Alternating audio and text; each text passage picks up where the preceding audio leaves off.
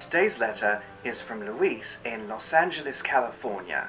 And he writes, My friend just told me that he doesn't believe in Santa Claus. What do I say to him? You know, this question deserves a very good answer. And to that I say, it's okay.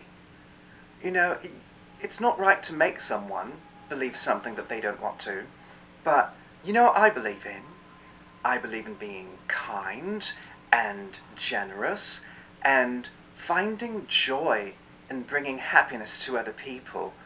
And really, that's what Santa Claus is all about, isn't it? Being kind to other people. And whether Santa Claus to you is a jolly old man who brings presents after you've done good deeds, or just a reminder to enjoy spending time with your family and to just bring happiness and a smile to other people's faces. And to me, that means that Santa Claus will always be a part of your life, no matter how old you are. And that is something that I think is a beautiful thing to believe in.